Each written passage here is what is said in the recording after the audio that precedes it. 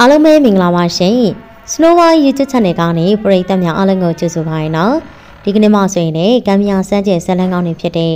စာရေးဆရာဇေယနာရှာများရေးသားထားတဲ့အောင်မြတ်တာနဲ့တိုက်ဆောက်ကြောက်ဖားညီနောင်ဆိုတဲ့ဇလန်းကောင်းတွေတူ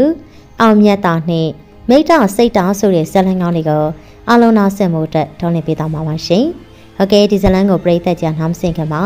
ကျမတို့ရဲ့ channel ကို like and subscribe လုပ်တော့ပေးပြီးတော့ ဒီနားမှာရှိတဲ့ခေါင်းလောင်းလေးကိုလည်းနှိပ်သွားပြီးတော့အားပေးခဲ့ပါအောင်နော်အားလုံးကိုကျေးဇူးတင်ပါတယ်အောင်မြတ်တာနဲ့တိုက်ဆောင်ကြောက်ဖားညီနာအောင်မြတ်တာလိုစင်ရတဲ့ဘဲတွေခရီးဆက်လာရင်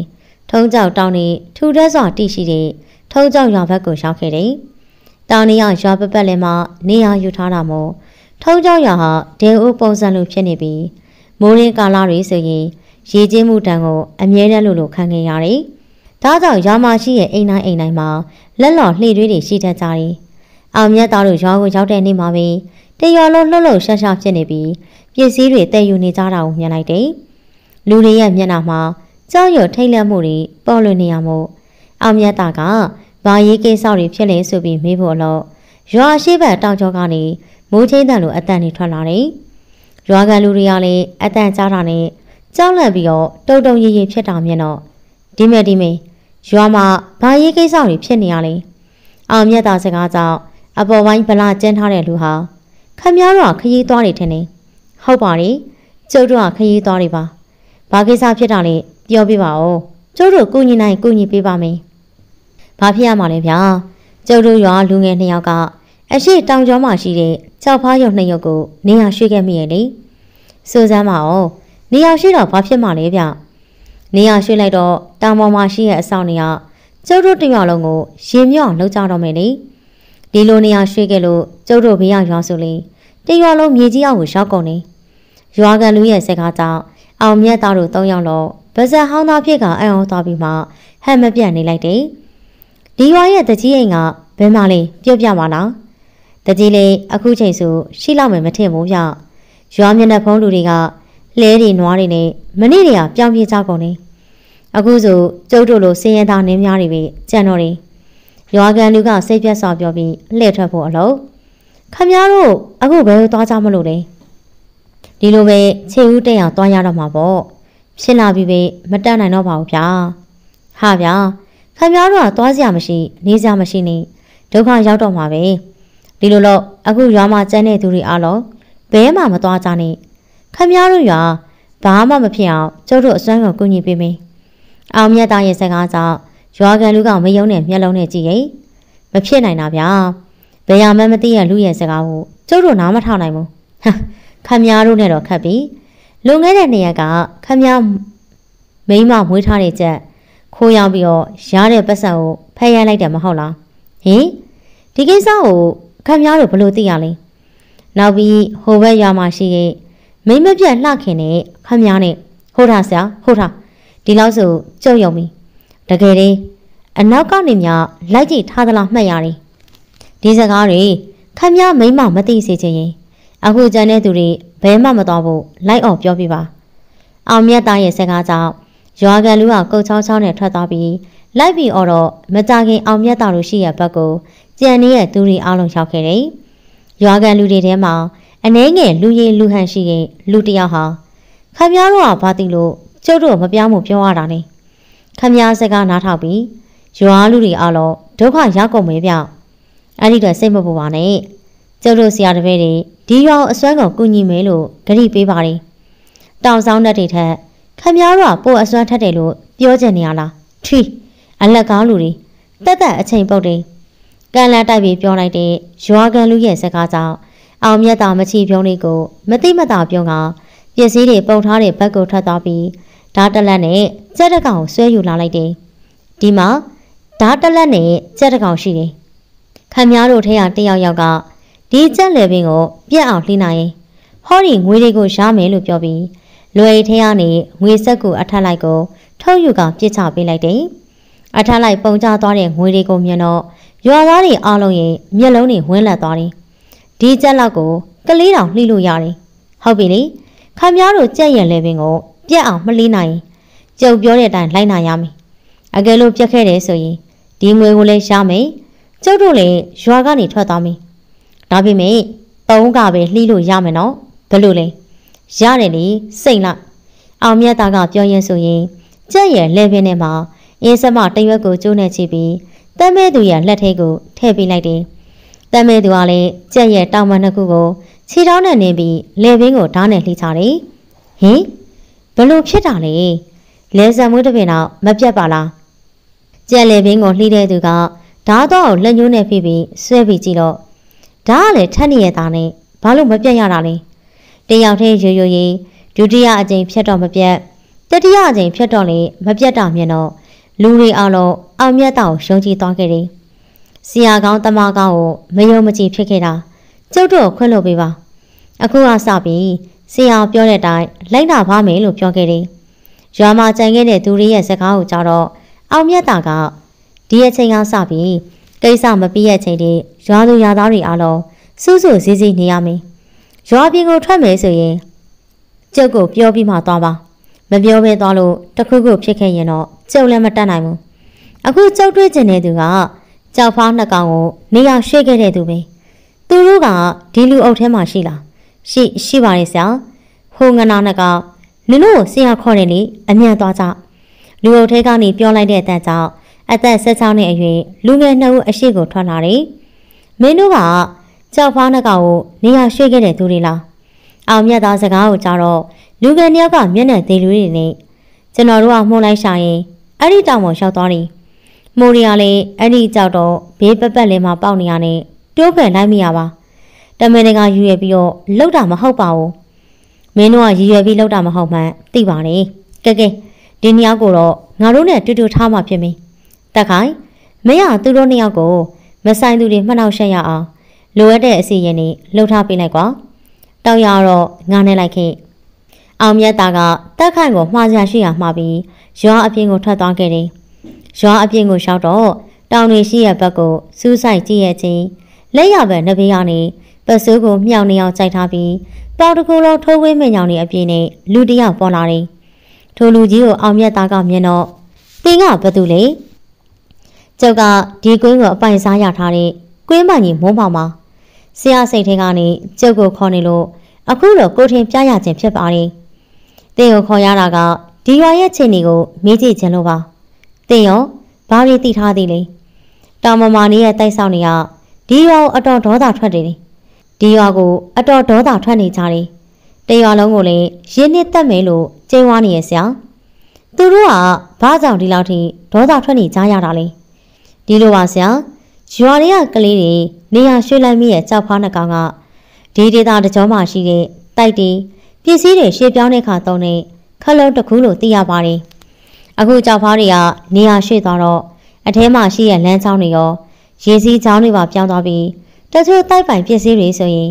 နန္ဒကားတွေပိုင်နေရေအောက်ကိုရွှေ့ပြောင်းကုန်ပါတယ်။ဒီအတွက်ကြောင့်ရောဒုက္ခပေးမယ်လို့ကြိမ်ဝါနေရပါ။ဒီလောက်အရေးကြီးတဲ့အရာကိုတာမန်လူတွေမြင်အောင်ထားမိတဲ့သူကိုသူတို့ကသူတို့ရောထဲမပြောကြဘူးလား။အေးအဲ့ဒါတော့ကြုံလည်းမသိဘူးဆရာ။ဒီလောက်သိရတာပဲတင့်ကိုကျေးဇူးတင်ပါပြီ။သိလဲသိလို့ရသွားနိုင်ပါပြီ။ အောင်မြတ်သာစကားဆုံးကွင်းမကြီးကလက်အုပ်ချီကမြေကြီးတဲကိုတိုးဝင်ပြောက်ခဲ့သွားခဲ့တယ်။ဆရာဒီပေါ်အတိုင်းဆိုရင်ပြောင်းလဲနေတဲ့လမ်းကြောင်းတွေတဲ့အောင်လှုပ်ပေးရမှာပေါ့။ဒါကတော့ငါတို့လည်းလှုပ်ပေးလို့မရနိုင်ဘူး။ကိုတောင်ကမကြေပွန်မေပေါ်စားတဲ့ကိစ္စကိုမတိနားမနေတဲ့ရွာကန်လူထုတွေပေါ့ပုံချတာတော့လက်သက်မခံနိုင်ဘူး။ဒါဆိုရင်ကျွန်တော်တို့ကဒီရွာကနေပြီးတိုက်ဆောက်တွေကိုရင်ဆိုင်ရမယ်လို့ပြောချင်တာလားဆရာဟုတ်တယ်တောင်ရ ဒီကောင်တွေကရွာညှို့ပြီးဒုက္ခပေးကြတော့မယ်ဟောပြောရင်းဆိုရင်တောင်ဘက်မှာမိုးတွေညှို့လာပြီရွာတွေကိုအမြန်ပြန်ရအောင်အောင်မြတ်သားတို့ရွာတွေကိုရောက်တော့တက်ခိုင်ကကြောက်လန့်နေကြတဲ့ရွာကန်လူတို့တွေကိုအားပေးစကားပြောရင်းလူငယ်နှစ်ယောက်ရဲ့ကြောပြမှာတံပြန်စမအချို့ကိုရေးဆွဲပေးနေအောင်မြင်လိုက်တယ်အားလုံးမကြောက်ကြနဲ့ဒီရွာဘာမှမဖြစ်အောင်ကျုပ်တို့ကောက်ွယ်ပေးမယ်အောင်မြတ်သားရဲ့ဩဇာအပြည့်ပါတဲ့အတန်ကြောင့် ရွာသားတွေအလုံးကြောက်စိတ်တွေပပျောက်ကငြိမ့်သက်သွားခဲ့တယ်။ဒီမိုးကိုတားဖို့အတွက်ရှစ်ခွက်အင်ဖို့ခနောက်ဆိုင်အလင်မှာအင်းဖျောင်းနိုင်သုံးနိုင်ထုံးရမယ်။ငါမိုးတားနေတဲ့အချိန်ရွာထဲမှာဘာသာမဲကြကြထွက်မကြည့်ကြဘူး။မင်းရပဲတာဝန်ရှုပေးကွာ။စိတ်ချပါစရာကျွန်တော်နီးကျွန်တော်ဟန်နေဘသူမှအပြစ်မထွက်အောင်လုပ်လိုက်ပါမယ်အောင်မြတ်သားလေးလူအုပ်လဲမထိုင်ပြီးရှေ့ကွက်ရင်သုံးခွက်ကိုဖိုးခနောက်ဆိုင်ဆွဲကဖျောင်းနိုင်သုံးနိုင်ထောက်ပြီးမိထုံးတဲ့အချိန် တောင်ကျောတွေဘက်ကနေကျဲလောင်တဲ့အတန်နဲ့တွေထွက်ပေါ်လာခဲ့တယ်။အင်းဖျောင်းနိုင်တွေကနေထွက်လာတဲ့အလင်းတန်းတွေဟာအပေါ်တက်သွားပြီးတရွာလုံးကိုဆက်ဝိုင်းပုံတံဖုံးအုပ်ထားကအကောက်ွယ်ပေးထားတာကိုတက်ခိုင်နဲ့တောက်ရလို့မြင်လိုက်တယ်။ခမည်းတော်ဘာမှမကြောက်နဲ့။ဘာအတန်ကြကြထွက်မကြည့်နဲ့။ဒီလိုမျိုးလောက်ကတော့ကျုပ်တို့ဆရာကကြွကြွကြင်ကြင်ထိတ်လို့တက်ပါတယ်။တောင်ရကရွာသားတွေမကြအောင်အားပေးစကားပြောတဲ့ချိန် ကောင်းကင်တကူလုံးမိုးတွေအုံမိုင်းလာပြီးနေကင်းကြောက်တောင်ကနေအလင်းရောင်မရှိတဲ့ညအချိန်လိုဖြစ်သွားတယ်။ဒါပေမဲ့အောင်မြတ်သာထွန်းထားတဲ့အင်းဖျောင်းနိုင်ကထွက်လာတဲ့အလင်းရောင်ဟာရွာသားတွေနေတဲ့ဓမ္မယုံကိုအလင်းတဲ့အပြည့်အဝပေးထားနိုင်ခဲ့တယ်။မိုးဆက်မိုးပေါက်တွေမကြပေမဲ့အရှိန်ဟုန်တဲ့တိုက်ခတ်လာတဲ့လေပြင်းတွေကြောင့်တစ်ပင်ကြီးငယ်အချို့ပြိုလဲကြတဲ့အတန်အထဲကနေကြားနေခဲ့ရတယ်။ရွာသားတွေဟာလည်းကိုမီသားစုကိုတင်းနေအောင်ဖတ်ထားရင် ကြောက်စိတ်တွေကိုအာခံနေတဲ့အချိန်တကားပေါက်နားမှာနေတဲ့မိမတယောက်ဟာရုတ်တရက်ထငုပ်ပြီးအပြင်ကိုထွက်ပြေးဖို့အလို့အချင်းလေးကိုအကဲခတ်တဲ့တောက်ရဟာလျင်မြန်စွာနဲ့ပြေးဖက်ပြီးနှက်ဘူးကိုလက်ဝါးနဲ့ရိုက်ချလိုက်တော့မှသတိပြန်ဝင်လာခဲ့တယ်။မိငယ်ဟဲ့မိငယ်နင်ကဘာထားလို့တာလဲလူအုပ်ထဲကနေလှမ်းပြောလိုက်တဲ့အတန်ကြောင့်မိငယ်ဆိုသူကဟိုဟိုအပြင်မှာလေတွေတားတိုက်နေပြီတစ်ပြည့်နေလေချိုးချနေတဲ့အတန်ကြောင့်လို့ တကားပေါက်ကနေခြောက်ကြည့်တော့ဝက်ကောင်းစားလာတွေဝှက်ထားတဲ့မိမတယောက်ကလက်ပြပြီးတော့ခေါ်တယ်အဲ့ဒါအောင်မြင်ပြီးဘာမှမသိတော့ဘူးတိုက်ဆောင်နေကအမီးတို့ကိုသွေးဆောင်ဖျားရောက်ဖို့ကြံနေကြတယ်တတိလွတ်တာနဲ့ဒုက္ခရောက်နိုင်တယ်ဆိုတာမမေ့ကြနဲ့အောင်မြတ်သားစကားကိုကြားတော့တရော်လုံးကြောက်ရွံ့မှုတွေပြင်းစွာဖြစ်ပေါ်လာခဲ့တယ်တက်ခိုင်တဲ့တောက်ရောက်မင်းတို့နှစ်ယောက်ကအေးဖျောင်းနိုင်မိမငိမ့်အောင်ဂရုစိုက်ပြီးရွာကန်လူတွေကိုစောက်ရှောက်ထားကြပါ မဟုတ်မှလည်းရောဆရာတယောက်ထင်းတောင်းမဟုတ်တောင်းမလို့လားဟုတ်တယ်တက်ခိုင်ဒီပြဿနာကထိုင်ပြီးဖြေရှင်းနေလို့ပြီးသွားမှလည်းမဟုတ်ဘူးကြောက်ဖားနှကောင်ကိုရည်ရွယ်ချက်မရှိဘဲနေရာရွှေ့ခဲ့တယ်ဆိုတာတက်တည်ပြဖို့ငါသွားရမယ်ဒီကောင်လေးနှစ်ယောက်ကိုရောဘာလို့ရမှာလဲဆရာသူတို့ကိုငါနဲ့တူခေါ်သွားမယ်မင်းတို့ညောင်တတိထားရမှာကအင်းဖျောင်းနိုင်မငိမ့်စေဖို့ပဲ အောင်မြတ်တာလည်းတက်ခိုင်တို့ကိုမှားကြပြီးပြဿနာစတရလူငယ်နှစ်ယောက်ရဲ့လက်ကိုဆွဲကရွာပြင်ကိုထွက်သွားခဲ့တယ်ဆရာဆရာမိုးရီကကျွန်တော်တို့ရွာပေါ်မှာပဲညှို့နေရနော်သူတို့ကမင်းတို့ရွာကိုဒုက္ခရအောင်လုပ်မှဖြစ်တာမို့အခုလိုဖြစ်နေရပြီဒါနဲ့မင်းတို့နာမည်ကဘယ်လိုခေါ်လဲကျွန်တော်နာမည်ကရံမခါလို့ခေါ်ပါတယ်သူ့နာမည်ကတော့သူရလို့ခေါ်နေဆရာအေးမင်းတို့နှစ်ယောက်ကိုအထူးမှားချင်တာကတာမော်ရောက်တဲ့အခါ ငါရဲ့ခါမှာချိထားတဲ့ယောဂီတပတ်ရဲ့အစောနှစ်ဆကိုမြဲနေအောင်ကင်ထားပါ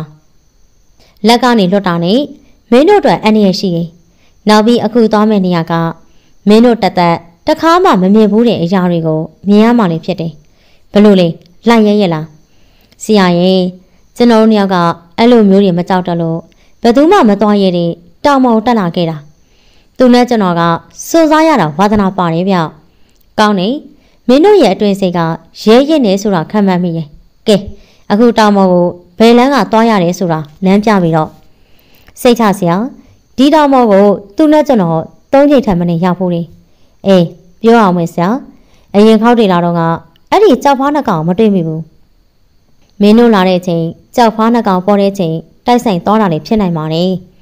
အောင်မြတ်တာလေလူငယ်လေးနှစ်ယောက်နဲ့စကားတွေပြောရင်တက်လာခဲ့တာကြောက်ဖားနှကောင်ရှိတယ်ဆိုတဲ့ တောင်ရဲ့နည်းနမိတ်ထဲကိုဝင်လာတယ်ဆရာဒီတောင်ဆက်ကကျွန်တော်တို့ပြောတဲ့တောင်မင်းစကားတပြောပြောနဲ့ရှောက်လာခဲ့တာရောင်မန်းအောင်မသိလိုက်ဘူးကဲအခုအစပြီတပတ်ရဲ့အစားနှစ်ဖက်ကိုမလွတ်တမ်းကင်ထားပြီးတော့ဘာတွေ့တွေ့ဘာမြင်မြင်လက်ကိုမလွတ်မိစေနဲ့အောင်အောင်မြတ်သားရဲ့စကားကိုလူငယ်နှစ်ဦးကခေါင်းရည်ပြကတပတ်ရဲ့အစွန်းနှစ်ဆကိုစုပ်ကင်ထားလိုက်တယ်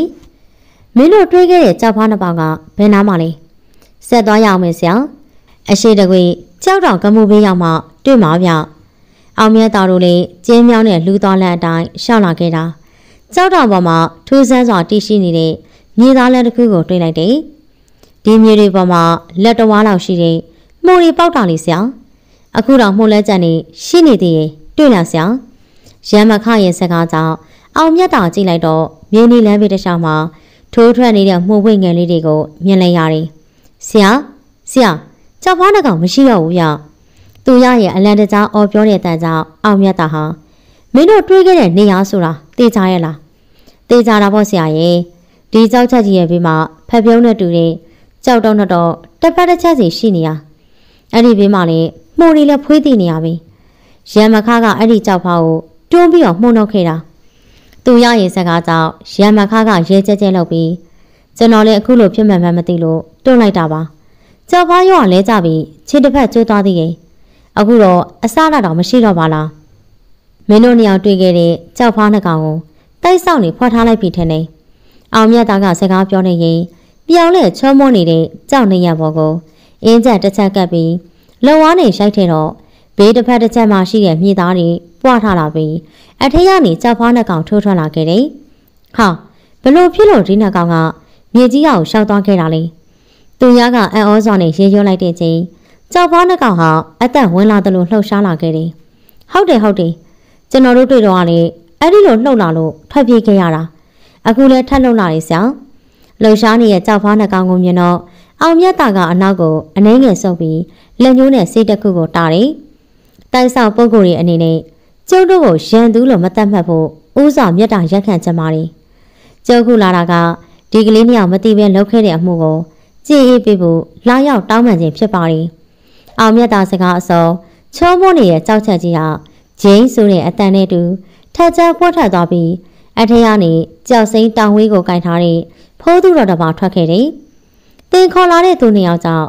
ကျုပ်တို့စောက်ကြနေတဲ့ဖြစ်စီတွေစုံရှုံကုန်တဲ့ကိစ္စဘလို့ပြန်လုပ်ပေးမှလဲ။ညနေသားတင်းတင်းနဲ့မေးလိုက်တဲ့ဖိုးသူတော်ရဲ့စကားကို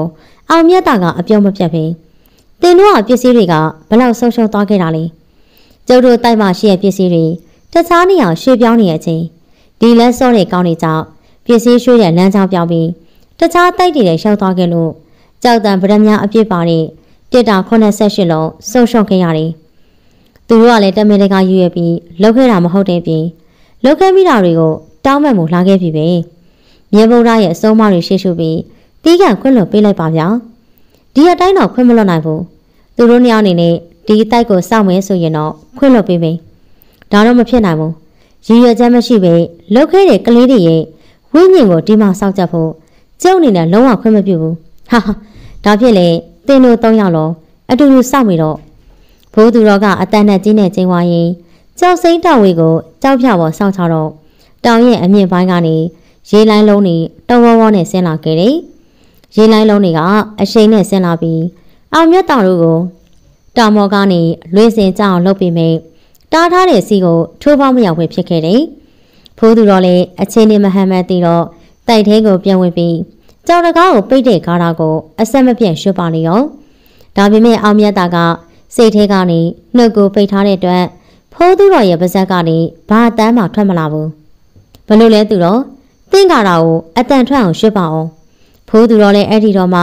ကြောက်လက်တကြဂူထဲကိုဝင်ပြေးပါလေရော အောင်မြတ်တာတို့လည်းပွေးနေတဲ့ဂူပေါက်ထဲကိုဝင်ကြည့်တော့ဟင်းလင်းပြဖြစ်တဲ့လှိုင်ကိုတစ်ခုကိုမြင်တွေ့လိုက်ရတယ်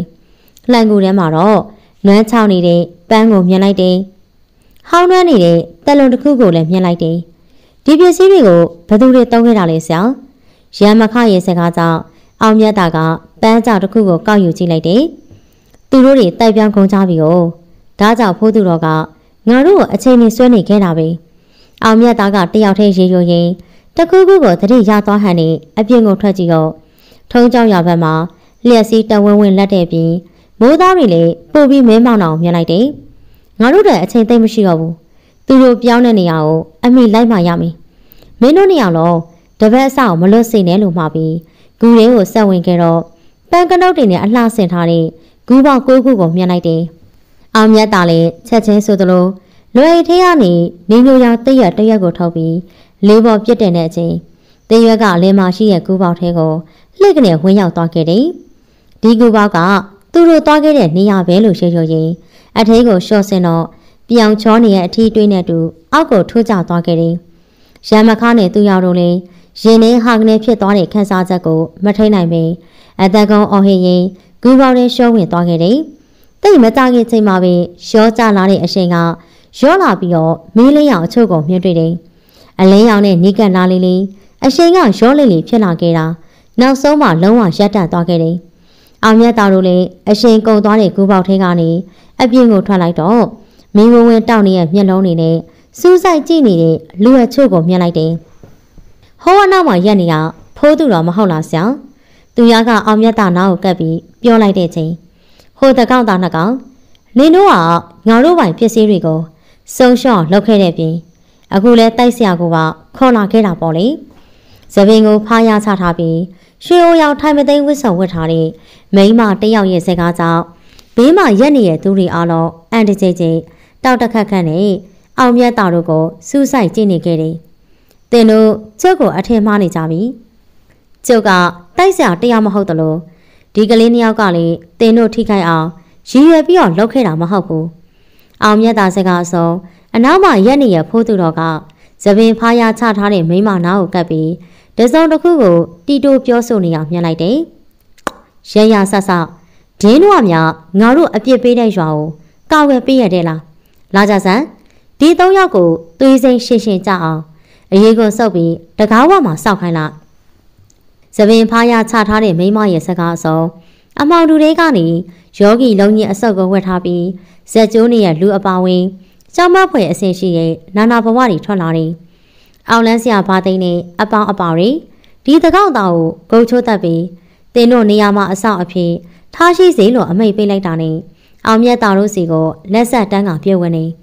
အောင်မြတ်တာကတော့ပုံပြက်ပြန်ပြန်အတ္တဘောရီကိုမြင်တွေ့နေကြမှုမကြောက်လန့်မိမိရမခနဲ့သူရကတော့မျက်လုံးကိုစုံမိတ်ကတပတ်ကိုတေးကျစွာနဲ့ကြိုက်ထားခဲ့တယ်။ တင်းတို့အားလုံးရဲ့စိတ်တွေကြံ့တန်ရိုင်းဆိုင်ကုန်နေပါလား။အောင်မြတ်တာကစိတ်မတဟန်နဲ့စုတ်သက်ပြီးပြေးဝင်လာတဲ့နာနာဘဝတွေကိုဘယ်လက်နဲ့လက်ပြန်ရိုက်ထုတ်တော့အနောက်ကိုဆဲပြီးလောက်နှွှထွက်သွားခဲ့တယ်။ကျုပ်ဒီလိုလာတာဘသူ့ကိုမှထိခိုက်နာကျအောင်လုပ်ဖို့မဟုတ်ဘူး။ဒါဝတင်တို့ကဘာကြောင့်လျမ်းလို့ခြင်းနေရလဲ။အောင်မြတ်သားရဲ့စကားကိုသပင်ဖားရချထားတဲ့မိမကဘာမှပြန်မပြောပြီးအံကိုကြိတ်ပြီးနေလာတာအဲ့ဒီရောက်တယ်မဟုတ်လား။ သူတို့ကိုခွင့်လို့စေချင်ရင်အခုခေါ်လာတဲ့နှစ်ယောက်ကိုငါစီအပ်ခဲ့။သူတို့ကိုလည်းတင်တို့စီမအပ်နိုင်သလိုရွာကိုလည်းအထိခိုက်မခံဘူး။ဒါကြောင့်ကြုံမြတ်တာထားပြောတဲ့ချိန်နောက်ဆုတ်လိုက်ပါဒီလိုမှမဟုတ်ရင်မိတာနဲ့စိတ်တာဆိုတဲ့တကြွညီနောင်ကိုပြန်အသက်သွင်းရလိမ့်မယ်မိတာနဲ့စိတ်တာဆိုတဲ့နာမည်ကိုကြတော့ရှိနေတဲ့သူတွေအလုံးမျက်စိမျက်နှာပြတ်သွားခဲ့ရပြီးဟန်မပြတ်ပြန်နေတယ်သူတို့တည်သွားတာနှစ်ပေါင်းရာချင်နေပြီ ဒါဝသိန်းကဘလို့သိရလဲကျုပ်ဘလို့သိရဲဆိုတာထက်တင်တို့ကိုခေါင်းမဖော်ရဲအောင်ထိတ်ချုပ်ခဲ့တဲ့တကြွညီနောင်ရဲ့မျက်လုံးတွေကိုပြန်ခန်းစားကြည့်လိုက်စမ်းလို့ပြောပြီးရံမခါနဲ့သူရတို့ရဲ့ဇက်ဘိုးကိုလက်နဲ့ဖိကင်တော့နှစ်ယောက်လုံးဒူးထောက်ခွေကျသွားခဲ့တယ်။ကိုတင်ញိုင်တန်ထားနှစ်လက်ရဲ့အရှင်သခင်ရွာကြီး40ကိုအုပ်စိုးခဲ့တဲ့တကြွညီနောင်မျက်လုံးချင်းစိုက်ကြည့်ုံနဲ့တစ်ဖက်လူတိမ်ငယ်သွားရတဲ့အထိဖြစ်ခဲ့တဲ့ညှို့မျက်လုံးပိုင်ရှင်နှစ်ယောက် ခိတနိုးထလာစီသားလို့ပြောပြီးဇက်ကိုလွှတ်လိုက်တော့ခေါင်းငိုက်ဆိုင်ကြတဲ့ရမခါနဲ့သူရတော့နှစ်ယောက်လုံးခေါင်းထောင်လာပြီးအရှိမရက်တဲ့သူတွေကိုစူးစိုက်ကြည့်နေပါလေရောမဖြစ်နိုင်ဘူးဟင့်အင်းဘလို့မှမဖြစ်နိုင်ဘူးဒီရဲ့ကြီးကိုပိုင်ဆိုင်တဲ့သူတွေကတည်သွားတာနှစ်ရာချင်းနေပြီမဟုတ်လားဟုတ်တယ်သူတို့တည်သွားတာနှစ်ပေါင်းရာချင်းနေခဲ့ပြီမဲ့သူတို့ရဲ့စိတ်ဝိညာဉ်တွေဟာမသေးဆုံးမဲ့လေးလွတ်နေခဲ့တယ်ဒီကလေးနှစ်ယောက်သာ တာမန်လူတွေဖြစ်ခဲ့ရင်ကွယ်ဝက်ထားတဲ့ကြောက်ဖားညီနောင်ကိုမြင်တွေ့ရပါမလားအောင်မြတ်သားစကားဆုံးဇပေဖားရတဲ့မိမကဒူးထောက်ထိုင်ကြတယ်တခင်လေးတို့နှစ်ယောက်ပေါ့အပြစ်တွေအများကြီးလုပ်ခဲ့ပါတယ်ဆရာသူတို့ပြန်တတိယမလုပ်ပါနဲ့သူတို့တတိယရင်ကျွန်တော်မျိုးမတို့တတ်လိုက်မယ်အခုတင်တော့ထုံးကြောင်ရွာပေါ်မှာပြုတ်လောက်ထားတဲ့အစီရင်တွေကိုဖေရှားပေးရင်ကြော့အနေနဲ့မှတ်ညံချို့ကိုဖျောက်ဖျက်ပေးပါမယ် အောင်မြတ်သားရဲ့စကားဆုံးဇပေဖားရတဲ့မိမကရွာဘာဒုက္ခမှမပေးတော့ပါဘူးလို့ဂတိပေးပါတယ်ကောင်းပြီနောက်ဆုံးတစ်ခုအနေနဲ့ညီနောင်နှစ်ပါးအသုံးပြုခဲ့တဲ့ကိုတင်ញိုင်ဓာတ်နှစ်လက်ဘယ်မှာရှိတယ်ဆိုတာတင်သိလိုက်မှထင်ပါတယ်တခင်လေးတို့တည်တော့သူတို့ဓာတ်နှစ်လက်နဲ့တူမြင်းမြုပ်ပေးခဲ့ပါတယ်အောက်ကူရဲ့ဘေးမှာတော့မြင်းစုတက်ကပန်းမဲ့တပင်စိုက်ထားပါတယ်တင်တို့ရဲ့ဆုံးရှုံးသွားတဲ့ပစ္စည်းတွေဟာနောက်ဖွင့်မဲ့ဖျားကို လှူမဲတိုက်တယ်ရောက်သွားတာမို့အလဟတ်တမဖြစ်ခဲ့ဘူးဆိုတာသိထားပါအခုတော့သူတစ်ပါးစီကအဓမ္မသိမ့်ပိုက်ထားခဲ့တဲ့ပစ္စည်းတွေကိုတန်မြအဆက်ဆက်စောက်ကြပ်ပြီးနေရင်ခဲ့ပြီးတော့အောင်မြတ်သားရဲ့စကားကိုသပင်ဖားရတဲ့မိမကဘာမှပြန်မပြောနိုင်မင်းခေါင်းငိတ်စိတ်ကြကနားထောင်နေခဲ့တယ်။အဲဒီချိန်ရမခါနဲ့သူရတို့နှစ်ယောက်ကကြားဆိုတဲ့အတန်နဲ့တူ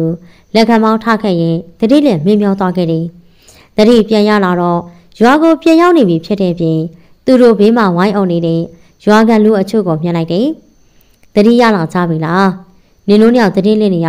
3ရက်နဲ့3ညရှိပြီ။ဆရာဆရာတို့ရောဆရာတွေကတခြားကိစ္စရှိလို့ဆိုပြီးရွာကထွက်သွားကြတယ်။နင်တို့နိုးရင်ဒီစားလေးပေးလိုက်ပါဆိုပြီးမှားခဲ့တယ်။ရံမခါနဲ့သူရလဲမိဘတွေလက်ထရစာကိုလူယူလိုက်တဲ့ချိန်ဘာမှဖတ်မနေနဲ့စာရွက်အလွတ်ကြီးပေးထားခဲ့တာ မိဘတွေဖတ်တဲ့ချိန်စာရွက်အလွတ်ဆိုပေမဲ့ရံမခါနဲ့သူရတို့ဖတ်တဲ့ချိန်မှာတော့စာရွက်ထဲမှာစိတ်ဝင်စားဖွယ်အကြောင်းအရာတချို့ရေးထားတာကိုမြင်လိုက်တယ်။ဒီကိစ္စတွေဖြစ်ပြီးနှစ်ရက်မြောက်နေမှာတော့ရံမခါနဲ့သူရတို့နှစ်ယောက်လုံးရွာကနေပျောက်ချင်မလားပျောက်ခဲ့သွားခဲ့တယ်။လူကြီးငါးဘက်စာလောက်ရှိတဲ့မြေစုတက်ကပန်းမဲ့ကြီးရဲ့အောက်မှာတော့ယောဂီဝစ်စုံဝစ်ထားတဲ့လူသုံးယောက်ငြိမ်သက်စွာတရားထိုင်နေခဲ့ကြတယ်။ပန်းမင်းကြီးဘေးမှာတော့ ရေညှိရဲ့ထက်ထက်တက်နေတဲ့အုတ်ကူနှလုံးအုတ်ကူနှလုံးရဲ့ကပီးတိုင်မှာအတွန်းအတက်တွေပါတဲ့ရှေးဟောင်းမြမစာအရေးသားနဲ့ရေးထားတဲ့နာမည်နှစ်ခုကဲပရိသတ်ကြီးရဲ့နောက်ဆက်လက်မှာတော့အောင်မြတ်တာနဲ့မိတ္တစိတ်တာဆိုတဲ့ဇာတ်လမ်းလေးကိုနားဆင်ရမှာဖြစ်ပါတယ်။အောင်မြတ်တာနဲ့မိတ္တစိတ်တာတတိဥဘောကအိမ်ကဒီအိမ်လားမာထထန်လေးတန်းနဲ့မေးလိုက်တာမို့အိမ်ပါဝါမှာရက်တဲ့ခန်းနွမ်းနွမ်းလူကြီးဟာ ဟုတ်ပါတယ်ဟုတ်ပါတယ်ဘလို့ရေးကိစ္စများရှိလို့ပါလေဥဘောကရဲ့တားနှစ်ယောက်ဖြစ်တဲ့မိသားနဲ့စိတ်တာကိုမင်းမြန်းစရာရှိလို့လာခေါ်တာပါမောက်တူကိုစောင်းထားတဲ့ရဲမက်ရဲ့စကားကြောင့်ဆန်ဆောင်ဖြစ်သူဦးတာရဲ့ပါဇက်တီအဟောင်းသားဖြစ်သွားခဲ့ရတယ်ခဏနေတော့အိမ်ထဲကနေပိုးချိန်လုံကြီးကိုကြားနာစွာဝစ်ဆင်ထားပြီးခေါင်းမပေါက်ထားတဲ့လူကြီးတစ်ယောက်ထွက်လာတယ်သင်တို့ကမျိုးစားနန္ဒကျော်သူရဲ့ရဲမက်တွေထင်နေဟုတ်တယ် ကျုပ်တို့ကမျိုးစားနန္ဒကျော်သူရဲ့ရဲမက်တွေပါဒါဆိုရင်ကျုပ်သားနှစ်ယောက်ကိုဘာရေးကိစ္စနဲ့မင်းမြတ်ချင်နေဆိုတာအရင်ပြောပြနိုင်မလားအင်းသားမျိုးရံမျက်နှာဖုံးတတိကြီးအိုးဘောကရဲ့စကားကြောင့်ရဲမက်တွေချင်းချင်းပြန်ကြည့်တယ်သင်တို့သားနှစ်ယောက်ကပုံကံမှုကိုလှုံ့ဆော်နေရဆိုပြီးတရင်တိကျရထားလို့လာခေါ်တာပါရဲမက်တွေရဲ့စကားကြောင့်ဦးဘောကဟက်ဟက်ပက်ပက်ရဲလိုက်တယ်။တင်တို့ရဲ့စကားကအတိတ်ပဲတိတ်မဲ့လို့နေ။ ကျုပ်သားနှစ်ယောက်ကဆက်ဆက်တီမခန်းတဲ့လူတွေဖြစ်ပေမဲ့ဒီလိုမျိုးကိစ္စတော့လုံးဝမဟုတ်ဘူး။အခုသူတို့အိမ်မှာမရှိဘူး။ပြန်လာရင်ရုံးကိုလွှတ်ပေးလိုက်မယ်။သူတို့အိမ်မှာမရှိရင်ဘယ်မှာရှိရလဲ။ကျုပ်တို့ကသူတို့နေရာမပါဘဲမပြန်နိုင်ဘူး။အေးဒီလိုဆိုတော့လေသူတို့ရှိတဲ့နေရာခေါ်သွားပေးရတာပေါ့။ဟဲ့မောင်တောင်ငါသားတွေရှိတဲ့နေရာခေါ်သွားပေးလိုက်အေးလူလူနဲ့စကားပြောနေတဲ့ဥဘောကရဲ့တွင်မြင့်ကြောင့် ရဲမက်တွေဘာမှစောရကမတက်ရဲတော့ပဲခြံစားဖြစ်သူခေါ်တဲ့နောက်ကိုလိုက်သွားခဲ့ကြတယ်။အတော်အတန်ကျဲဝန်းတဲ့ခြံဝိုင်းတစ်ခုထဲမှာတော့လေးချင်းငယ်လုတ်တဲ့လူငယ်တွေပြေဘတ်တိုဘတ်ရှိတိုက်ပညာရက်တွေလေးလာတေယူနေတဲ့သူတွေအပြည့်ရှိနေခဲ့တယ်။ဆရာကြီးရဲမက်တွေခြံဝိုင်းနဲ့ဝင်လာနေကြတယ်။ဓာအတိုင်းလေးကျနေတဲ့ငဆက်ရဲ့စကားကြောင့်တိုးကိုပင်အောက်မှာရင်နွေးကြားတောက်နေတဲ့ပွဲချောင်းဆရာဥဝနတယောက်မျက်မှောင်ကြောက်လိုက်တယ်။ဘသူတွေများလဲလို့ နန္နာကျော်သူငယ်သားတွေကိုဘာရေးကိစ္စရှိလို့လဲ။ရဲမက်တယောက်ဥဝနအောင်မြင်တော့အလိုလိုရှိန်သွားကြပြီ။တတိဥဘောကရဲ့တာမိသားနဲ့စိတ်တာကိုလာခေါ်တာပါ။မိသားနဲ့စိတ်တာဟုတ်လား။ဒီကောင်လေးတွေကိုဘာကိစ္စနဲ့လာခေါ်ရတာလဲ။ငါ့ကိုရှင်းရှင်းပြောစမ်း။အတန်မမနဲ့ပြောလိုက်တဲ့အတန်ကြောင့်ရဲမက်တွေမျက်နှာကိုအောက်ချပြီးငိမ့်သက်သွားခဲ့တယ်။။ဥဝနဆိုတာကလေရွှေမျိုးတော်ရှင်မင်းတရားကြီးနဲ့တူတူ တိုက်ပွဲတွေကိုရဲရဲစွာတိုက်ခိုက်ခဲ့သူဖြစ်တဲ့ပြင်မင်းတရားကြီးရဲ့အလေးပေးမှုကိုခံရတဲ့သူတအုပ်ဖြစ်တယ်ဆိုတာသိထားတဲ့ရဲမက်တွေကမဝမရဲနဲ့ဟိုဟိုဥဘောကတောင်းနှစ်ယောက်ကပုံကံမှုတွေမှာပါဝင်နေဆိုတဲ့တဲ့ကြောင့်လာခေါ်ရခြင်းဖြစ်ပါလေ။သေမင်းတို့ကဆွဆွဲချက်ပြင်းလာကြလား။ဟိုနှကောင်ထွက်လာခဲ့စမ်းစီယာကြီးဥဝနခေါ်တဲ့ကြောင့်လူအုပ်ထဲကနေရင်းအုပ်ကြကြ ကြွက်သားတွေအမြောင်မြောင်ထနေတဲ့လူငယ်နှစ်ယောက်ထွက်ခဲ့တယ်။သူတို့ကမိတာနဲ့စိတ်တာပဲ။မင်းတို့ကသူတို့နှစ်ယောက်သဘုံထားတွေကုညီရတယ်လို့ပြောရတဲ့တက်တဲ့တခုပြ။မပြနိုင်တော့ကတော့မနှက်ဖြန်နေပြီးတော့ထိငါတက်ပြီးပြောရလိမ့်မယ်။ဥဝနရဲ့စကားကြောင့်ရဲမက်တွေမျက်စိမျက်နှာပြက်ကုန်နေ။တက်တဲ့တီးကြတော့မရှိပေမဲ့ကျွန်တော်တို့ရထားတဲ့သတင်းတက်တဲ့တိတိပပမရှိပဲ။အပြစ်မရှိတဲ့သူတွေကိုအခုလိုဖမ်းလာစီလားလှုပ်เสียလားဟမ် ရင်ကောင်းတန်နဲ့ဟိမ့်ဟောက်လိုက်တဲ့ဥဝနရဲ့စကားကြောင့်ရဲမက်တွေဘာမှစောရကမတက်ရတော့ဘူးကျွန်တော်တို့လည်းမျိုးစားမင်းခိုင်းလို့လုပ်ရတာပါအေးငါတပည့်တွေကိုဖမ်းချင်ရင်တက်တဲ့ခိုင်းမှရအောင်ရှာပြီးမှလာခဲ့လို့မင်းတို့မျိုးစားကိုပြောလိုက်ရဲမက်တွေလည်းဥဝနစကားအစုံကုတ်ချောင်းချောင်းနဲ့ခြံဝိုင်းပြင်ကိုထွက်သွားခဲ့ကြတယ်ရဲမက်တွေထွက်သွားတော့ဥဝနာကမိတားနဲ့စိတ်တာကိုစူးစိုက်ကြည့်ပြီးခုနလေးကျင်းနေတဲ့နေရာကနေပြက်လောက်ကြလို့ပြောက ရင်းနှွေးချောင်းမောချလိုက်တယ်။ကျောဘက်ကနေထွက်လာတဲ့ကြေးစီတန်းကြောင့်မြင်နေရတဲ့မြေခွင်းတွေအားလုံးကိုမြစ်ပစ်ကတရားထိုင်နေအမှုကိုရှင်းလာတယ်။ခုနကကြေးစီတန်းတစ်ချက်ကြားလိုက်ရတယ်ဆရာ။အနောက်မှာထိုင်းတဲ့တက်ခိုင်စကားကြောင့်အောင်မြတ်တာကဒီသစ်ပင်ပေါ်မှာနေတဲ့ရုပ်ကစိုးပုံနှံကထွက်လာတာဖြစ်မယ်။သူကဒီရဲ့ချိန်ဆိုရင်မြစ်တာဖို့အမြတမ်းဝင်နေကြလေကျွန်တော်တို့ဒီအုပ်စုဘေးမှာစောင့်နေရ ၃ရက်နဲ့၃ညတိတိရှိပြီနော်ရွာမှာကြံခဲ့တဲ့လူငယ်တွေလာမဲဆိုတာတေချာပေါက်မလားဆရာသူတို့တေချာပေါက်ရောက်လာလိမ့်မယ်သူတို့ရောက်တာနဲ့ဒီနေရာမှာထူးခြားမှုတွေဇက်တိုက်ဖြစ်ပေါ်လာနိုင်နေဆွဲဆဲငငယ်ဦးလိုက်တဲ့အတက်ကြောင့်အောင်မြတ်တော်လို့ဆရာတော်ပဲတွေတေပင်အောက်ကနေထပြီးကျင်းလိုက်တော့မလမကန်းမှာပေါက်နေတဲ့ညောင်ညိုပင်အောက်မှာတင်ငန်းအစုပ်ကိုဝတ်ထားပြီးကြောပြီးရက်နေတဲ့ရဟန်းတစ်ပါးကိုမြင်လိုက်တယ်။အဲ့ဒီချိန်အောင်မြတ်သားရဲ့မျက်လုံးထဲမှာ စိုးစွနေရဲ့မြေကိုတူးနေကြတဲ့စိတ်သားနဲ့မိသားတို့နှစ်ယောက်အပြင်သူတို့ရဲ့ဘေးမှာတော့ဖုန်ကြီးဝတ်ထားတဲ့ဥဝနာကလက်ပိုက်ပြီးရက်ကြည့်နေတဲ့မြင်ကွင်းကိုမြင်လိုက်ရတယ်။ဟိုလူငယ်နှစ်ယောက်ဒီနောက်တစ်ဝိုက်ကိုရှောင်းနေပြီ။အမြန်လိုက်ရှာမှဖြစ်မင်း။အောင်မြတ်သားရဲ့စကားကြောင့်တက်ခိုင်နဲ့တောက်ရကဆရာဒီမှာပဲနေခဲ့ပါကျွန်တော်တို့လိုက်ရှာခဲ့ပါမယ်လို့ပြောပြီးအမောင်တူတွေကိုထွက်သွားခဲ့ကြတယ်။အောင်မြတ်သားလည်းမြင်လိုက်ရတဲ့မြင်ကွင်းကိုတီးကြံနေရမို့ နေစုတကပန်းမင်အောင်မှာပဲတင်မနစ်ခွေပြန်ထမ်းလိုက်ပြီးအာရုံစုစည်းတဲ့အခါမြင်မြန်တူထားမိတာငါတို့ဆရာရဲ့အကြံစီတွေအောင်မြင်ရင်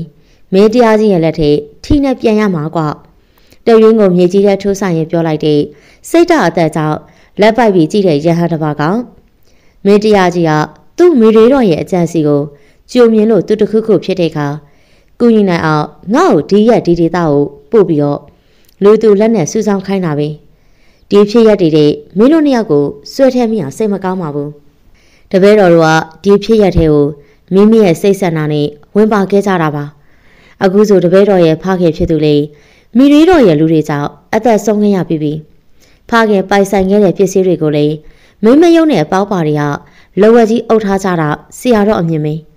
တပည့်တော်တို့ဘဝကမင်းတရားကြီးထိနေပြရမှာပဲ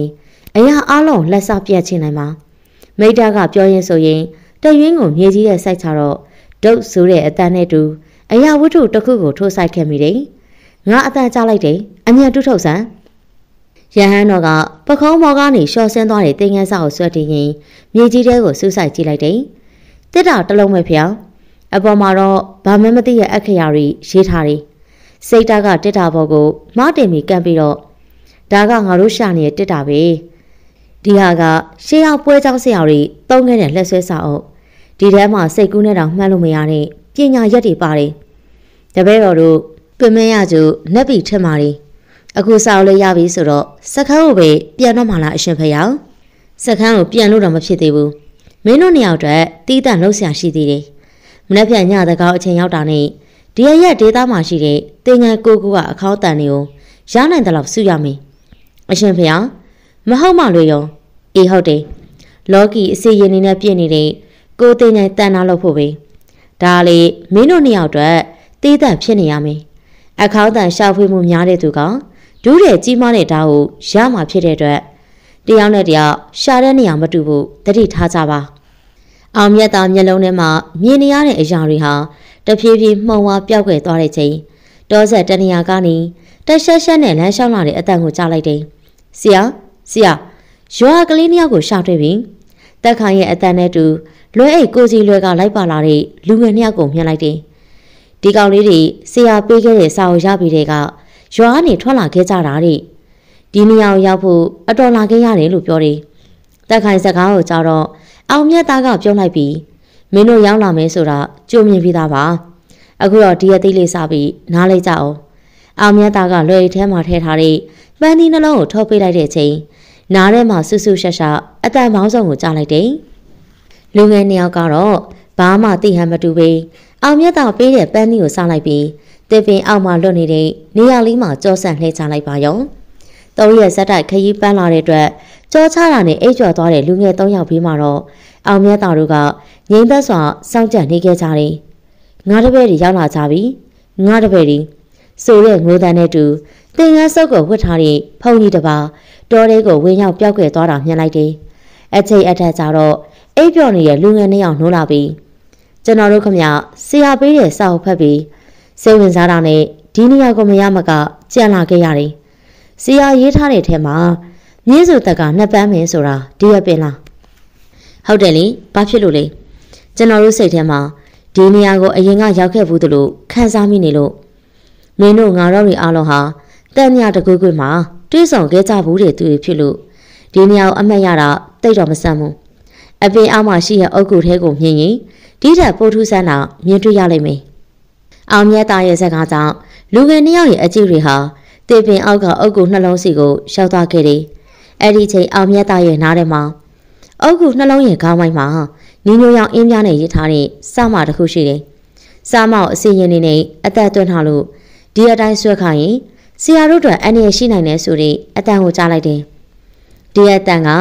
ခုနတင်ရန်အစော့ဝတ်ထားတဲ့ဖုန်ကြီးရဲ့အတန်ပဲ။သူကဒီအုပ်ကူကိုစောက်ရှောက်နေတဲ့သူများလား။အောင်မြတ်သားရဲ့အတွေ့အဆုံတက်ခိုင်ကဆရာကျွန်တော်တို့ဘာဆက်လို့ရမှာလဲ။တက်ခိုင်မင်းတို့နေရာကအုပ်ကူရဲ့ခေါင်းပေါင်းကိုလိုက်ရှာကြည့်။နင်းညိုရောင်ကြေးပြားစမှတစ်ခုတွေ့လိုက်မယ်။အဲ့ဒီခါကျရင်စက်မရှာပဲအနောက်ကိုစုပ်ခိတ်ငါတော့ဒီနေရာပပတ်လေးကိုစီးချဖို့လုပ်ရမယ်။ အောင်မြတ်သားရဲ့စကားကိုတက်ခိုင်ကနားလဲတဲ့ပုံစံနဲ့ခေါင်းငယ်ပြလိုက်တယ်။ရင်ကြီးထက်ထက်တက်နေတဲ့အုပ်ကူနှလုံးရဲ့ခေါင်းမိုက်ဘက်ကိုထွက်သွားခဲ့တယ်။ဂါတာတစ်ပုတ်ကိုမတိုးမကျဲရွတ်ဖက်ပြီးစီးချနေတဲ့အောင်မြတ်သားအတန်ကိုကြတော့မြေစုတက်ကနှစ်ပန်းပင်ပေါ်ကနေတောင်ဝင်းကိုတတောက်တောက်ထောက်ပြီးလမ်းလျှောက်ဆင်းလာတဲ့အဖိုးအိုတယောက်ကိုတွေ့လိုက်တယ်။တစ်ပေချေရင်းကိုရောက်တော့အဖိုးအိုကဒီအုပ်ကုကိုလာလာဖောက်တဲ့သူတွေအများကြီးတည်းမှ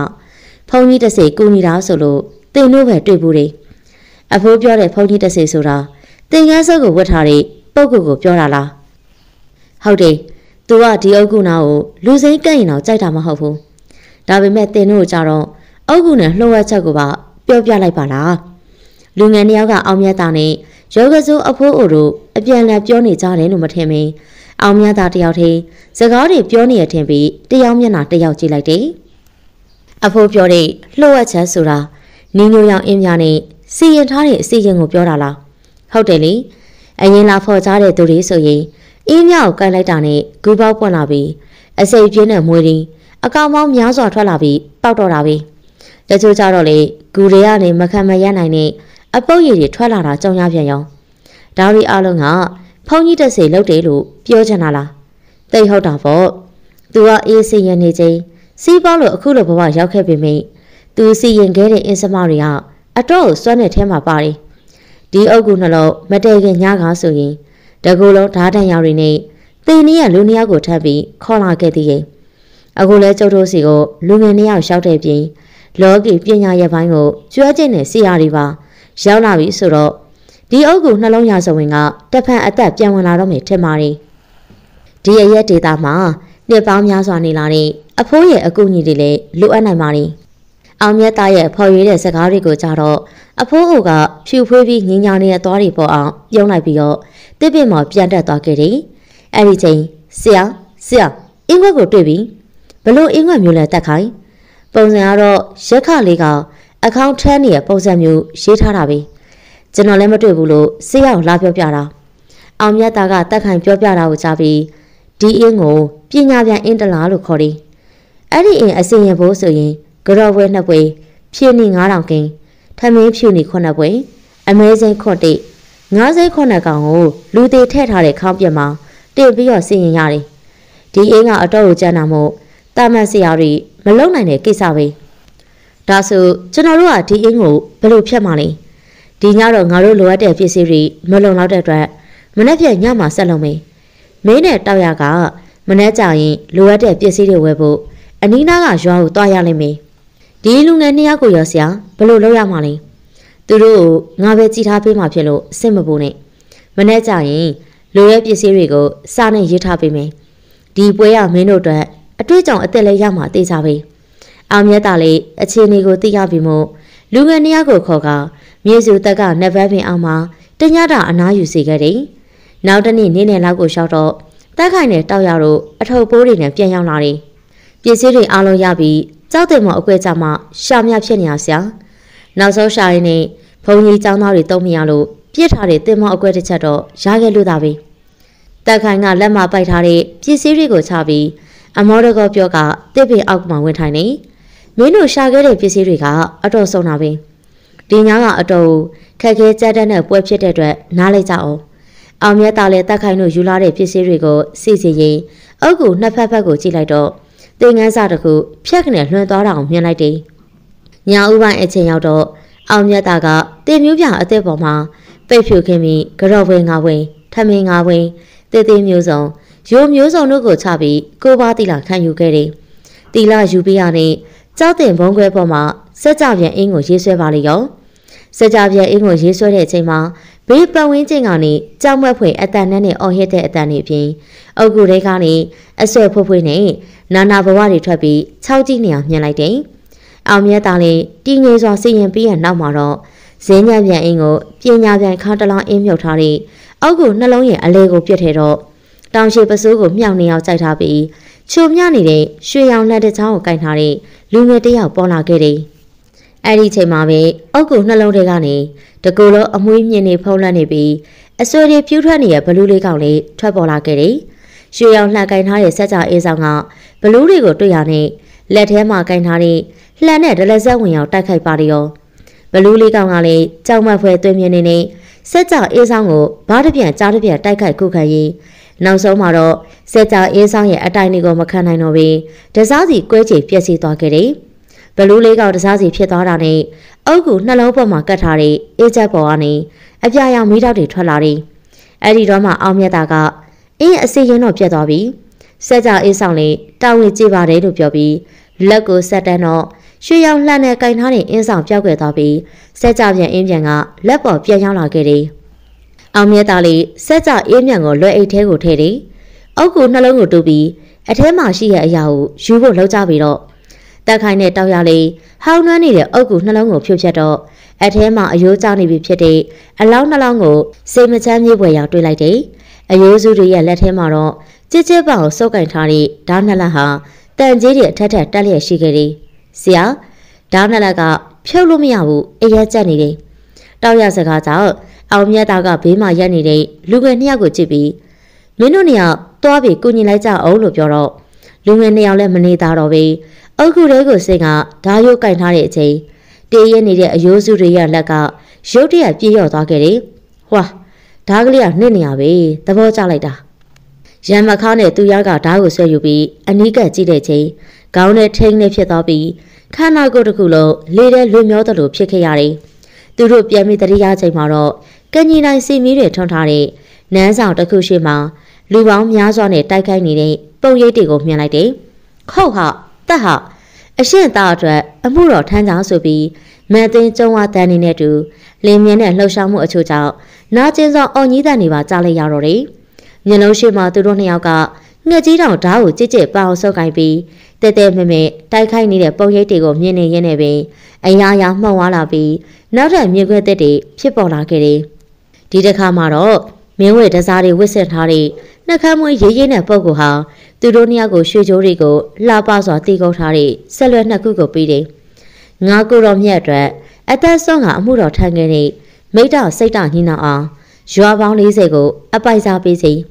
ထိုရွာတွေကထွက်ရှိတဲ့အခုဘန်နာရီရဲ့တဝက်ကိုလေခန်းစားရယူစေလို့ပြောတဲ့အတန်ကိုကြားလိုက်တယ်။ပြီးရနဲ့မြင်ကွင်းတွေရွှေရှားပြောက်ွယ်သွားပြီးအလွန်ကိုချော့မော့လှပတဲ့မိမတယောက်ဟာ နူးညံ့ပျော်ပြောင်းစွာကားပြနေရကိုလက်ခုပ်လှဝတီးပြီးအားပေးနေတဲ့သူတို့ရဲ့ခန္ဓာကိုယ်ကိုမြင်လိုက်တယ်။မကြခင်ကားပြအတုံးတော်ခန်းတဲ့မိမဟာအကိုဖြစ်သူနဲ့ညူတူတူစကားတွေပြောလိုက်ညီဖြစ်သူနဲ့ပလီပလာလောက်လိုက်ဖြစ်တဲ့မြင်ကွင်းတွေထက်မှန်ပေါ်ပေါက်လာခဲ့တယ်။အဲ့ဒီချိန်မှာပဲမြင်ကွင်းနေရာပျောက်သွားပြီးရဟန်းဝင်းနဲ့ဖုန်ကြီးတစ်ပါးကရွှေဖားရုပ်လေးနှစ်ရုပ်ကိုညီကိုနှစ်ယောက်ကိုပေးလိုက်တယ်။ဒီရွှေဖားရုပ်တွေကိုကိုနဲ့မကွာစောင့်ထားကြ မင်းတို့ကိုမတမသူတွေဒုက္ခပေးကြတော့မယ်ဆိုတဲ့နမိတ်ကိုမြင်နေရတယ်ရဟန်းတစ်ပါးရဲ့စကားတန်ဆုံးကောက်ကျစ်စွာပြောနေတဲ့ကားကြည့်တဲ့မိမရဲ့ဘေးမှာတီတိုပြောနေတဲ့ဖိုးသူတော်တစ်ပါးကိုမြင်လိုက်တယ်။အဲ့ဒီမြင်ကွင်းတွေပျောက်ကွယ်သွားတာနဲ့ရဲမက်တွေလိုက်လို့ပြေးလွှားနေတဲ့သူတို့ကိုသူတို့ပြန်မြင်လိုက်ရတယ်။နောက်ဆုံးရဲမက်တွေဓာတ်ချက်မိပြီးသွေးတန်တရရဖြစ်တဲ့လူနှစ်ယောက်ရဲ့မျက်နှာ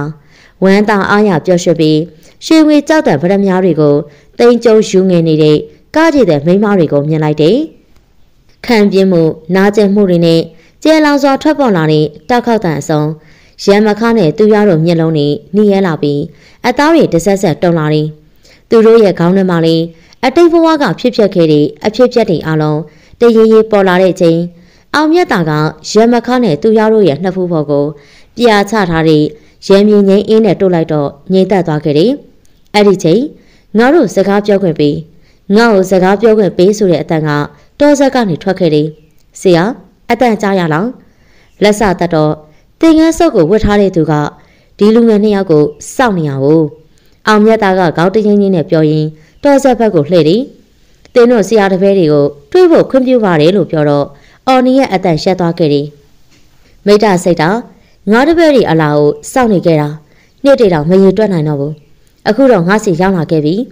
ရမခါနဲ့သူရောတို့ကြားလိုက်ရတဲ့အသက်ကြောင့်တောဆက်ဘက်ကိုကြည့်လိုက်တော့တင်ငန်းအဆုပ်ကိုပတ်ထားပြီးရဟန်းတစ်ပါးရဲ့နောက်ကျောကိုမြင်လိုက်တယ်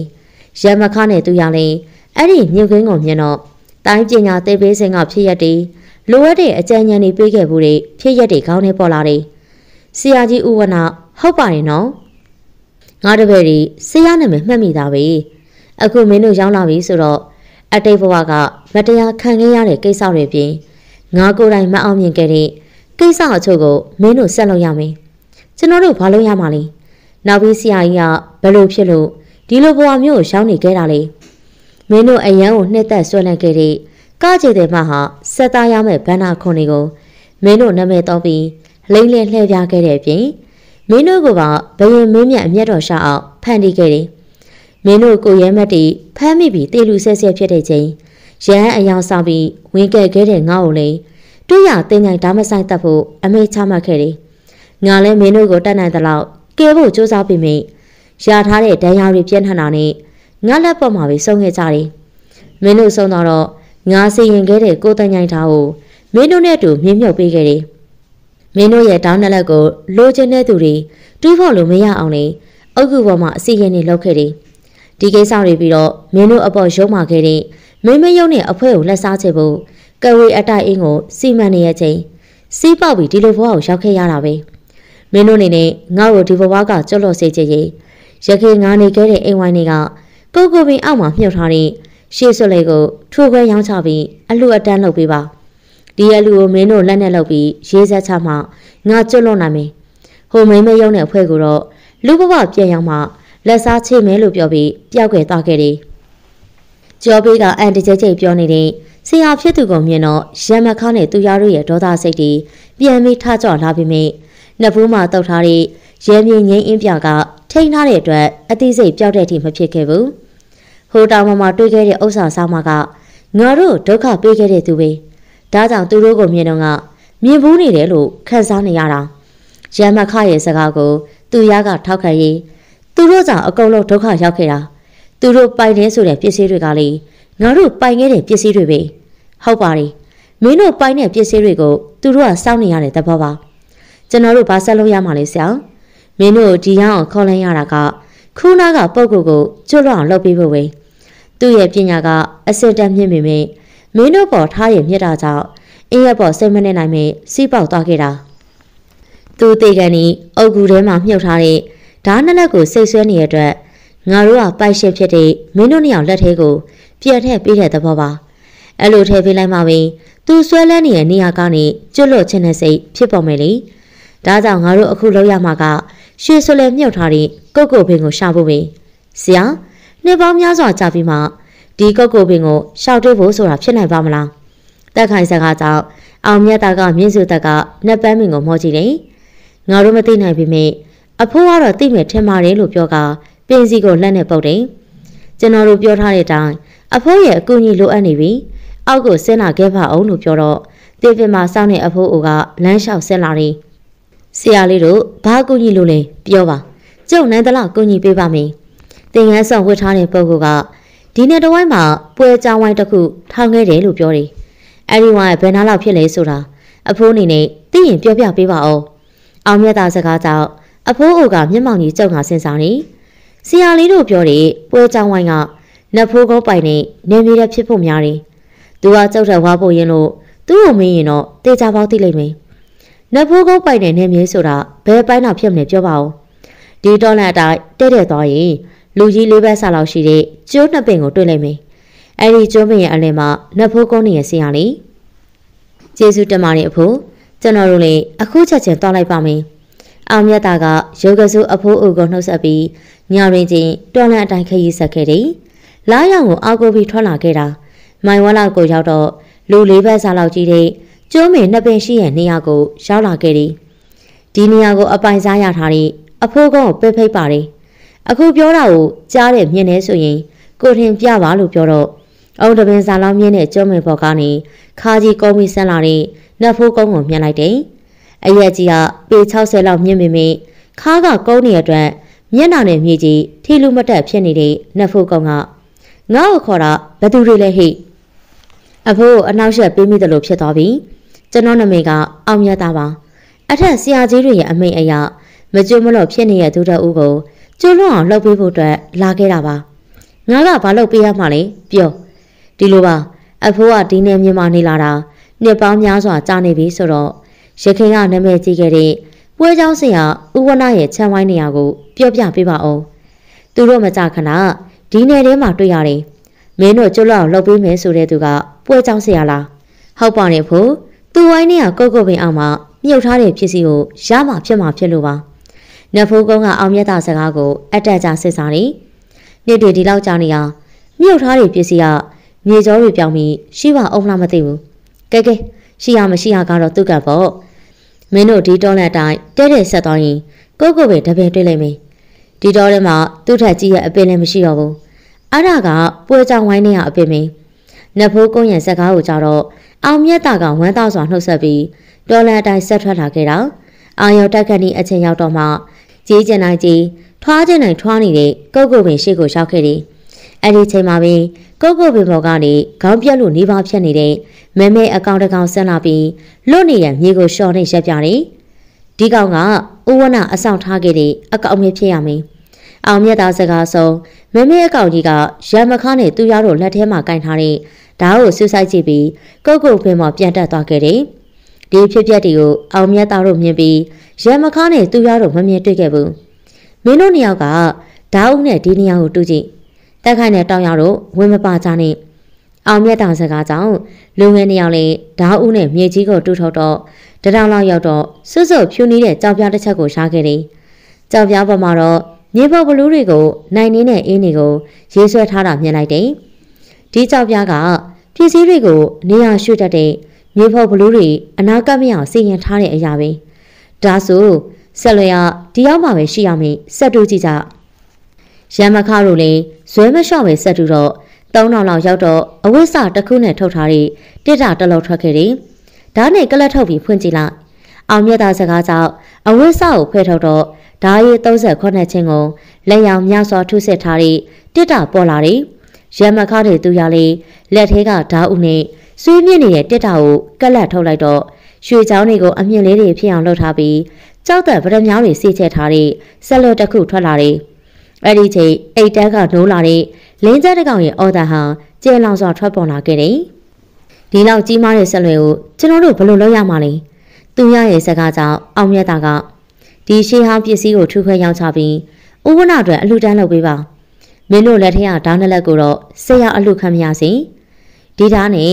တောင်မောကအမျိုးရှုံးမကိုလက်စားချစ်အောင်မေးပေးလို့မဖြစ်ဘူးသူတို့ကထိတွေ့သုံးဆွဲလို့မရတဲ့ပစ္စည်းတွေကို မကျွတ်မလို့ပဲစောက်ရှောက်နေရတာကိုကဝေကျွေးတစ်မျိုးပဲမဟုတ်လားမင်းတို့နှစ်ယောက်အနေနဲ့ကုသိုလ်ပြုနိုင်တဲ့ဘုံဘဝရောင်းနေရအောင်ဘာကြောင့်လက်စားချစ်လို့မှုတွေပြင်းပြနေရလဲအောင်မြတ်သားရဲ့စုံမမှုစကားတွေရဲ့အောက်မှာရမခါနဲ့သူရတို့နှစ်ယောက်ခေါင်းငိုက်စိတ်ကညှိသက်သွားတယ်ကျွန်တော်တို့ဆက်လွဲကိုရောက်ပြီးဆရာကြီးအတွက်အလှူဒန်းလုပ်ပေးမယ်ဒါကိုတော့ဆရာတို့ကိုပဲအခက်လိုက်ပါမယ်လို့ပြောပြီးကိုသိန်းချိုင်းဓာတ်နှစ်လက်ကိုကမ်းပေးခဲ့လိုက်တယ်။ကာဒုတာဒု တာဒုမင်းတို့နှစ်ယောက်လှူတဲ့ပစ္စည်းကိုမတမာသူတွေအသုံးပြုလို့မရအောင်စီမံထားလိုက်ပါမယ်ဒါနဲ့ဆက်လို့ဘသူမှလည်းမပြပါနဲ့ရွာပြန်ရောက်လို့နှစ်ရက်မြောင်းနေကြရင်ဈေးကောင်းပြေးဝင်မဲ့လူတယောက်မင်းတို့အိမ်ကိုရောက်လာလိမ့်မယ်သူစီယာရားတဲ့ငွေနဲ့အလှအတန်းလုပ်ပြီးအမျှဝေးလိုက်ပါဆရာတို့ရောမလိုက်လာကြဘူးလားအချိန်ရရင်တော့မင်းတို့ရဲ့အလှကိုလာခဲ့ပါမယ်မင်းတို့ရွာကိုပြန်မယ်ဆိုရင်အခုမြင်နေရတဲ့လမ်းအတိုင်းတဲ့တဲ့တာတော့ နိုင်ဝက်လောက်ဆိုရွာထိတ်လောဝကိုရှောင်းလိုက်မယ်အောင်မြတ်သာစကားကိုကြတော့ရဲမခါနဲ့သူရတို့နှစ်ယောက်လုံးလက်ပြနှုတ်ဆက်ကထွက်သွားခဲ့ကြတယ်ဒီကလေးတွေတောင်ပေါ်တက်ပြီးပြဿနာရှာမှစိတ်ဖို့မိရဲ့ဆရာစိတ်မပူပါနဲ့ရောင်းပြဲရောက်လို့အလွတ်လုပ်ပြီးရနဲ့သူတို့ရဲ့မှတ်ဉာဏ်ထဲမှာဒီယရနာပစ္စည်းတွေကိုအမတ်မထင်တွေးခဲ့တယ်လို့ပဲထင်နေမှာပါအောင်မြတ်သားနဲ့တက်ခိုင်တို့ကစကားတပြောပြောနဲ့ထွက်သွားပြီးမိတော က်ရကတော့ဓာတ်နလက်ကိုလက်မပိုက်ကအနောက်မှာရေးထိုးထားတဲ့စမတွေကိုစူးစမ်းနေခဲ့တယ်နေချစ်ချစ်တော့ပိုတဲ့နေလက်ခင်းအချိန်တလင်းမြင်ဘေးအောင်မကြီးပင်အောင်မှာလူ၃ယောက်ထိုင်းနေပြီးအဝေးကိုမျှော့ကြည့်နေခဲ့တယ်ဆရာဟိုမှလာနေပြီအုတ်ထုတ်ကိုခန်းခန်းငိုက်ဆောင်းထားတဲ့လူတစ်ယောက်ကမကြီးပင်အောက်ကိုရောက်တော့လွယ်အိတ်ထဲကနေပစ္စည်းတစ်ခုကိုထုတ်တယ်။ဆရာဝယ်ခိုင်းတဲ့ပစ္စည်းကိုတန်ရတန်ကြီးပေးပြီးဝယ်လာခဲ့တယ်။လူငယ်နှစ်ယောက်ကတော့အတော့ကိုပြောနေကြတာပဲ။ ဘယ်လိုလဲများနေမင်းနဲ့အလုပ်ရှုပ်သွားရပြီပေါ့။မဟုတ်တာပဲဆရာရဲ့ကျွန်တော်ဘဝကိုဆရာပဲပြောင်းလဲပြုပြင်ပေးခဲ့တာလေ။ဒီလောက်တော့လှုပ်ပေးခဲ့ရမှာပေါ့။အောင်မြတ်တာကမြားနဲ့ကမ်းပေးရဆက်လွယ်ကိုယူပြီးမတ်တက်ရလိုက်တယ်။နောက်တစ်ခါမှပြန်ဆုံကြတာပေါ့အခုတော့မသားမဖြစ်တဲ့ခရီးတစ်ခုသွားရအောင်မေဆရာတို့ခရီးလည်းအဆင်ပြေပါစေဗျာဒါနဲ့ကျွန်တော်အတွက်တပွဲတို့ထုံးမလေးလုပ်ပေးအောင်နော်ညတဲ့စကားကိုကြောတော့ အောင်မြတ်တာကဖြည့်ပွဲနေတဲ့တရက်လေးပေါ့အောင်ပြောလိုက်တယ်တပွဲတို့ထုံးမှန်တောက်ပြီးဓမြထထိုက်အောင်မလို့လားလို့မေးတော့ညရင်ကဟဟပပရေးရေးကြက်ရက်ခဲ့ပါရီနောက်ဆက်လက်မှာတော့မနာလိုမှုကနေ